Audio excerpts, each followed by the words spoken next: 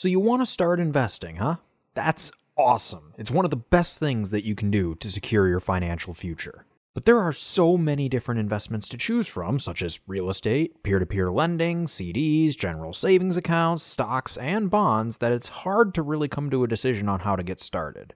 Each investment type carries its own risks and its own expected returns, as well as costs and other perks. All things considered, like I said, it can be difficult to choose which investments are right for you and your situation. And unfortunately, going through all of them in depth would be way too long for a single video, but it is still certainly a topic that's worth touching on. So today, I'm going to be talking about what to expect when investing specifically in the stock market. I'll be analyzing the historical returns of the market to give you a general idea of what you can expect over the short and long term, but we won't just be looking at the ROI of the stock market as we have done in previous videos. Today, we're also going to be looking at how often the market is up and down, which seems especially relevant given the recent news surrounding the coronavirus. But anyway, when it is up or down, we'll be taking a look at how big the swing is from month to month, year to year, and of course, over the long term. We'll examine how much your money would have grown over various time periods and with various investing strategies. And finally, we'll be looking at how inflation would have affected that growth over time, so that we can get an idea of how investing in the stock market can affect your buying power. With that out of the way,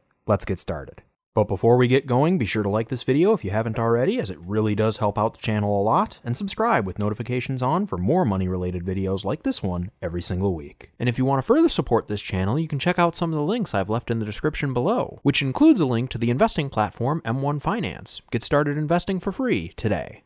So the data we'll be using today is taken from Yahoo Finance's monthly adjusted closing prices for Vanguard's original S&P 500 index fund, ticker symbol VFINX if you want to check it out for yourself. We'll be using the data from January 1980 to the end of 2019 since that'll give us a solid 40-year window to look at, and also we don't know exactly how this coronavirus thing is going to wrap up, so we don't want that skewing the data too much. Obviously, during this window, there were the two crashes in the 2000s, but there was also things like the high inflation rates of the early 1980s, the stock market run up of the 1990s, and the bull market of the 2010s. So we'll get a good variety of economic situations using this time frame as well. We'll start by looking at how often the market is up and down by looking at its total rolling returns. And just to give us an idea of how the market performs over both short and long term time frames, we'll be looking at the total rolling returns from every possible monthly, yearly, 3 year, 5 year, 10 year, and 20 year time frames, again from 1980 to 2019. So from 1980 to 2019, there were a total of 479 available months, and of course, the reason it's not 480 because there's no price change from January 1, 1980 to January 1, 1980. There were also 468 available years, 444 three year periods, 425 year periods, 360 10 year periods, and 240 20 year periods. Looking at the data, we see that the stock market rose in 64% of all available months. So almost two out of three months were at least positive. It rose in 81% of the available years, 87% of the available three year stretches, 88% of the five year time frames, 93% of the 10 year periods, and 100% of all 20 year cycles. Breaking it down by decade, we see that the stock market of the 1980s rose in 61% of the available months, 74% of the available years, and 100% of all 3, 5, and 10 year stretches. The 1990s were positive in 68% of all months, 98% of all years, and just like the 1980s, every single 3, 5, and 10 year time frame was positive. However, the 2000s were not quite as good as the decades that preceded them. This is unsurprising considering that we had two of the top three worst stock market crashes in American history coming in that same decade. However, what is surprising is that for the most part, the decade still performed positively more often than not. It rose in 55% of all monthly and one year stretches, 61% of all three year stretches, and 68% of the five year stretches. It did end the decade about 5% below where it started, but that was mainly because the market was still recovering from the Great Recession of 2008.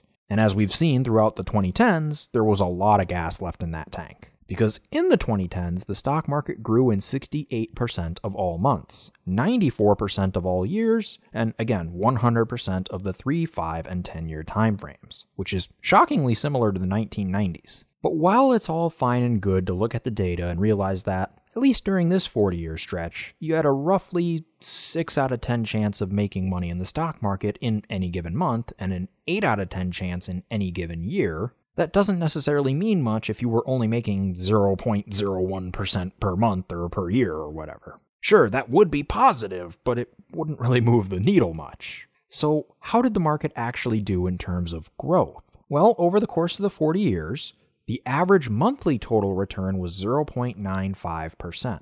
The average one year return was about 11.74%.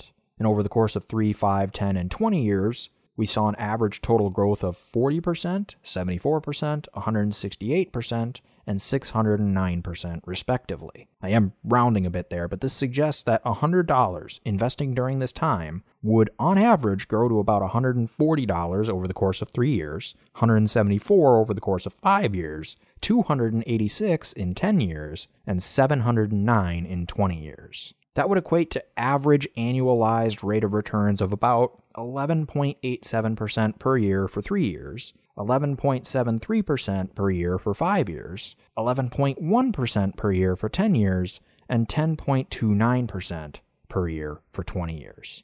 Not bad. The median returns do tell a similar but slightly different story. The median monthly returns were 1.24%. The median one year returns were 13.74%. And then the 3, 5, 10, and 20 year median total returns were 41%, 72%, 173%, and 477%, respectively. Once again, I'm rounding a bit there, but that suggests that $100 would have grown to about $141 over 3 years, 172 in 5 years, 273 in 10 years, and 577 in 20 years, in a more middle of the road scenario and that would equate to average annualized returns of about 12.1% per year for three years, 11.52% per year for five years, 10.57% per year for 10 years, and 9.16% per year for 20 years. Still, pretty darn good if you ask me, but the fact that the 20 year median returns were lower than the average returns suggests that there were more largely positive months and years than there were hugely negative ones.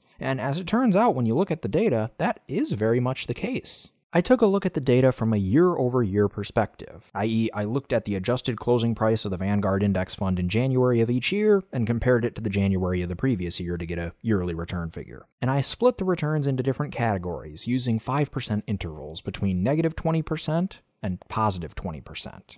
So any returns that fell between 0 and 5% I put in one category. Those that were greater than 5% but less than 10%, I put in another, and so on and so forth. In doing this, I found that over the 40 years of this sample, the most common return was actually an outlier based on the parameters I used, because 14 of the 40 years had positive returns of over 20%.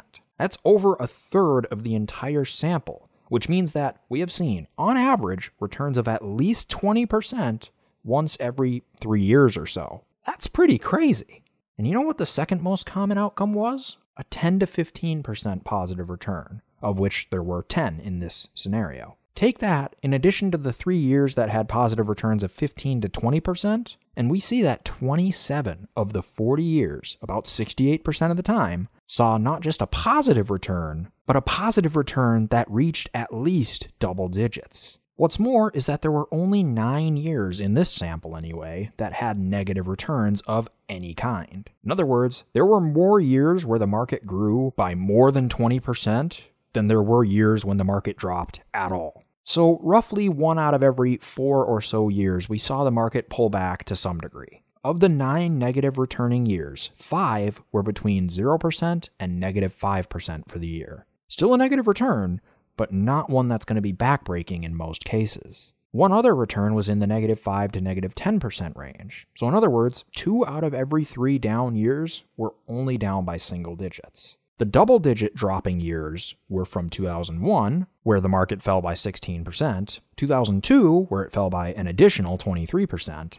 and of course, 2008, where it fell by 38% by January of 09. And for the record, even if I had done this exercise on a rolling year basis instead of just a static January to January basis, the results would have been pretty proportional to what we just laid out. But anyway, times like 2002 and 2008 are definitely difficult, especially since they're often accompanied by other complications beyond just the drop in the value of our portfolios.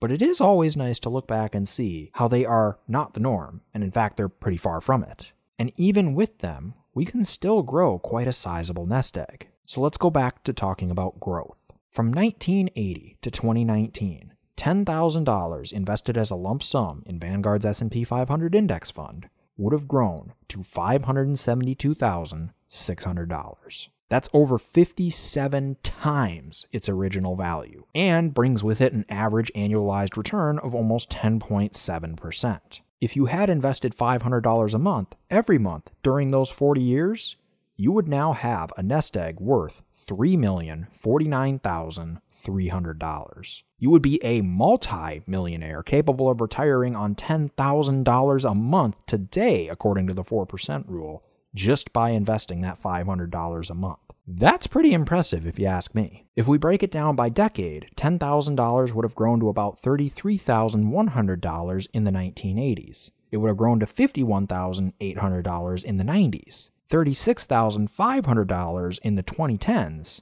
and of course, thanks to the fact that we didn't recover from the Great Recession until about 2012 2013, the investment would have fallen from $10,000 to about $9,400 if it was invested in the 2000s.